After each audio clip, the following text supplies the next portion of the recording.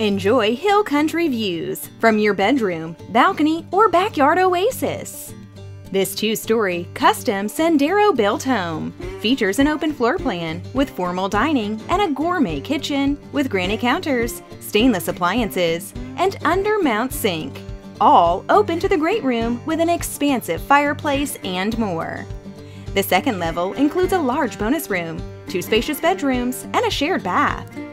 Enjoy a large covered flagstone patio, pool, hot tub, fire pit, and more great views.